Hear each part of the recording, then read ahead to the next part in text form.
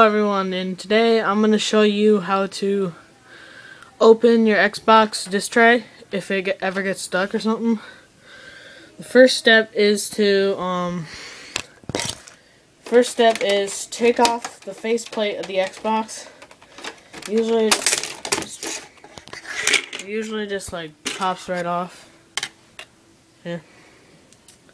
Then, put that aside. You're gonna take a paper clip you're gonna unfold it like so.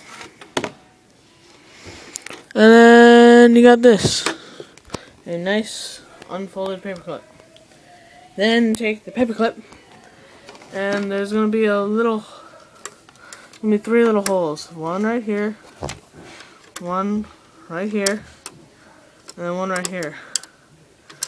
I stick it in this hole, stick the middle hole, or like right in between the two, and